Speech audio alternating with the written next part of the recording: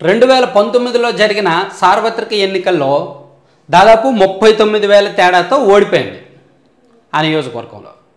అక్కడికి రెండు ఏళ్ళ తర్వాత రెండు వేల ఇరవై ఒకటిలో జరిగిన మున్సిపల్ ఎన్నికల్లో దాదాపుగా టూ త్రీ పర్సెంట్ తేడాతో గెలుపు మున్సిపాలిటీ గెలుపు. అధికార అధికారంలో వైసీపీ ఉంది వ్యవస్థలన్నీ వాళ్ళ చేతుల్లో ఉన్నాయి పోలీసులు అధికారులు అందరూ వైసీపీకి సహకరించే పరిస్థితి ఉంది సంక్షేమ పథకాలు విపరీతంగా అమలు చేస్తున్నారు ఆ టైంలో కూడా తెలుగుదేశం పార్టీ దర్శి మున్సిపాలిటీని గెలుచుకుంది.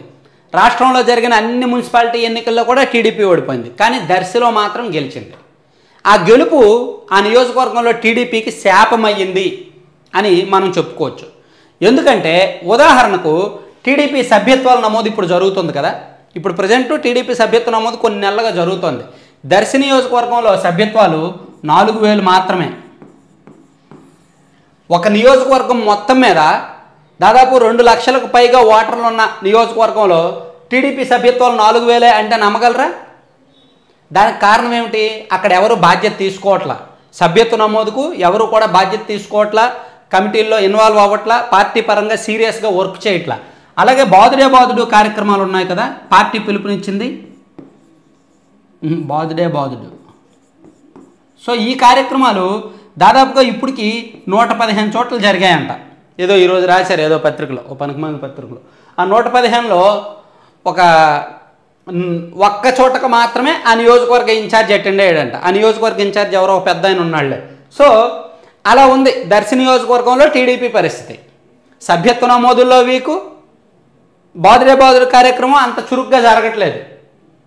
ఎందుకు? కారణం ఏమిటంటే ఈ నియోజకవర్గంలో రెండు వేల ఇరవై ఒకటిలో జరిగిన మున్సిపాలిటీ ఎన్నికల ఫలితం వైసీపీలో అప్రమత్తత తీసుకొచ్చింది. అంటే వైసీపీ అలర్ట్ అయింది. వైసీపీ పెద్దలు కూడా ఈ నియోజకవర్గం మీద ఫోకస్ చేయాల్సిన పరిస్థితి వచ్చింది. అక్కడ ఎమ్మెల్యే గారు కూడా జాగ్రత్త పడ్డారు. అయ్యో నేను ఇలాగే ఏకపక్షంగా ఉంటే నాకు నష్టం తప్పదు. చేతుల్లో ఉన్న మున్సిపాలిటీ ఓడిపోయాము అని ఎమ్మెల్యే గారు అప్రమత్తమయ్యారు. అలర్ట్ అయ్యాడు. కొన్ని కొన్ని సరి చేసుకునే ప్రయత్నాలు చేస్తున్నాడు. లేదా ఆయన ప్లానింగ్స్లో ఆయన ఆల్టర్నేటివ్ ప్లానింగ్స్ కొన్ని ఉన్నాయి అవన్నీ మనం ఇప్పుడు చెప్పుకోకూడదు. సో మొత్తానికి అలర్ట్ అవ్వడం మాత్రం వాస్తవం. టీడీపీలో అలసత్వం వచ్చింది. అలసత్వం వచ్చి అహం పెంచింది కొంతమందిలో. ఏ రకమైన అహం పెంచింది అనేది కొంచెం ఒక ప్రాక్టికల్ నిజం చెప్తా. టీడీపీ ఇక్కడ గెలవడానికి కారణం ఏమిటి? టీం వర్క్ నేను పదే పదే చెప్తున్నాను. తెలుగుదేశం పార్టీ ఇక్కడ దర్శి మున్సిపాలిటీ గెలవడానికి కారణం టీం వర్క్ యూనిటీ అంటే ఐక్యత. ఎవరెవరు పనిచేశారు? ఈ నియోజకవర్గంలో అప్పటికే టీడీపీకి అంటిపెట్టుకుని ఉన్న నారప్ శెట్టి వాళ్ళ ఫ్యామిలీతో పాటు నార అంటే చైర్మన్ క్యాండిడేట్ నారప్ శెట్టి వాళ్ళతో పాటు ఆ జిల్లాలో టీడీపీ పెద్ద పెద్ద నాయకులు ఒంగోలు పార్లమెంట్ అధ్యక్షుడు నోక్సాని బాలాజీ గారు దామచర్ల జనార్దన్ గారు అలాగే ఆ స్వామి గారు కొండప ఎమ్మెల్యే స్వామి గారు అలాగే ఈ పక్కన ఉన్న ఎమ్మెల్యేలు గొట్టిపాటి రవికుమార్ గారు ఏలూరు సాంబశివరావు గారు వీళ్ళందరూ కూడా అక్కడ పనిచేశారు.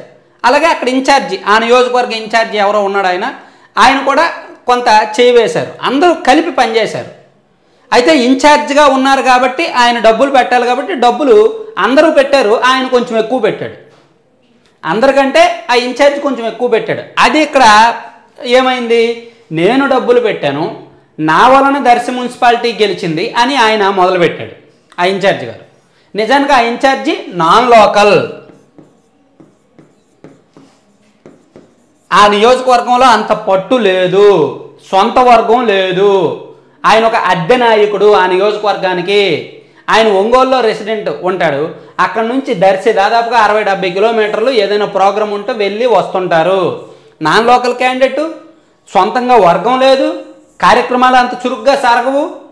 ఇవన్నీ లేనప్పుడు ఏదో కొంతమందిని మాత్రం వెంట వేసుకొని తిరుగుతారు. ఒక పది మందినో ఇరవై మందినో తన సామాజిక వర్గానికి చెందిన వాళ్ళని వెంటేసుకొని తిరుగుతారు.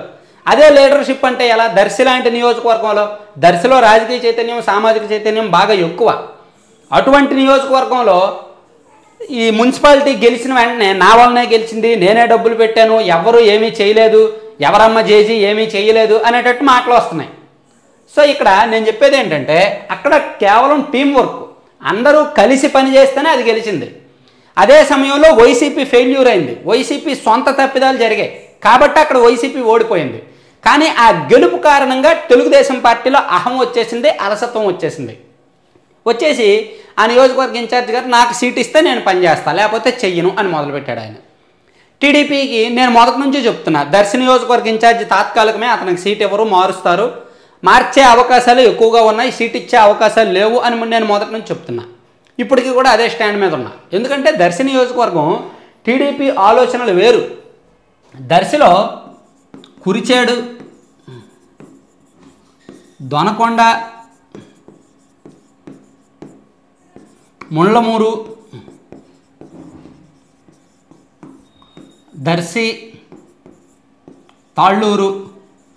ఏ మండలానికి ఆ మండలం రాజకీయంగా ప్రత్యేకమైన పరిస్థితులు ఉంటాయి ఏ మండలానికి ఆ మండలం సామాజికంగా ప్రత్యేకమైన పరిస్థితులు ఉంటాయి ఇది వైసీపీకి కంచుకోట.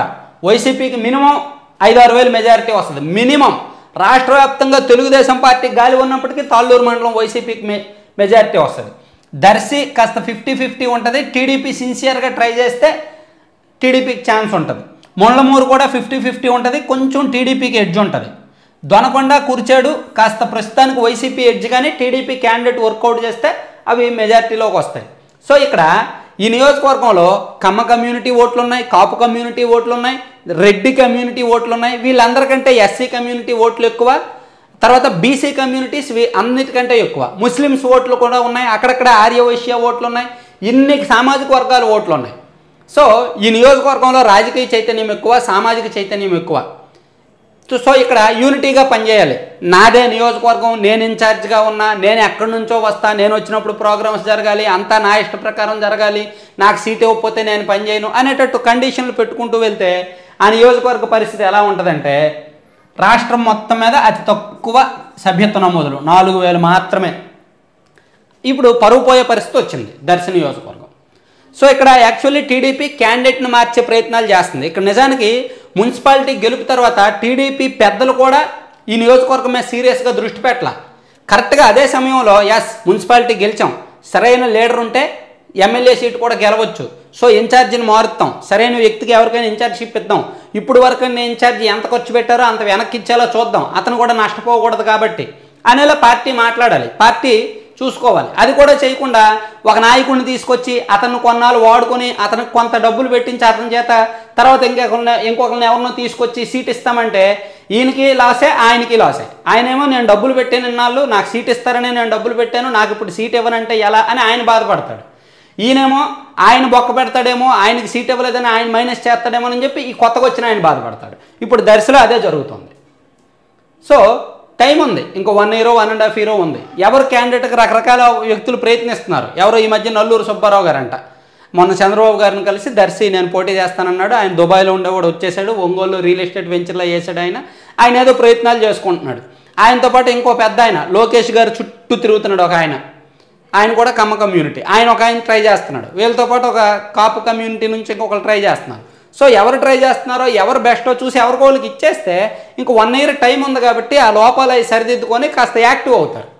లేకపోతే సభ్యత్వాలు లేక పార్టీ కార్యక్రమాలు చురుగ్గా జరగక దర్శి లాంటి నియోజకవర్గం ఫెయిల్ అయితే ఆ ప్రభావం ఆ పక్కన మార్కాపురం మీద కూడా ఉంటుంది. ఇటుపక్క ఎర్రగొండపాలెం ఇటువైపు అద్దంకి ఇటువైపు సంతనోతలపాడు ఈ నాలుగు నియోజకవర్గాల మీద దర్శి ప్రభావం ఎంతో కొంత ఉంటుంది. సో అందుకే పార్టీ అలసత్వమే పార్టీ సరైన ప్రణాళిక లేకపోవడం వల్లనే దర్శన నియోజకవర్గంలో టీడీపీ దిగజారింది. మున్సిపాలిటీ గెలిపేదో వచ్చింది. రకరకాల కారణాలతో వచ్చింది. టీం వర్క్ చేశారు కష్టపడ్డారు డబ్బులు ఖర్చు పెట్టారు. అదే సందర్భంలో వైసీపీ తప్పుల మీద తప్పులు చేసింది గ్రూపులు ఉన్నాయి కాబట్టి దర్శి మున్సిపాలిటీ గెలిచారు. ఆ గెలుపును చూసి మేము ఇంకా తిరుగులేదు మాకు ఇంకా తిరుగులేదు అనేటట్టు ఉంటే ఇలా ఇదే పరిస్థితి వచ్చింది. సంవత్సరంలోనే పార్టీ పరువు పోయే పరిస్థితి వచ్చిందనమాట అక్కడ. ఇది దర్శి